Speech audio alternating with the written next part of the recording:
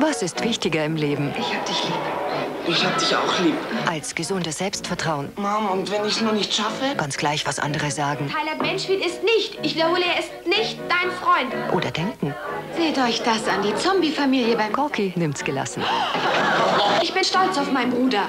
Also nicht verpassen. Alles okay, Corky. Jeden Montag 17.55 Uhr in der ARD. ARD, das will ich sehen.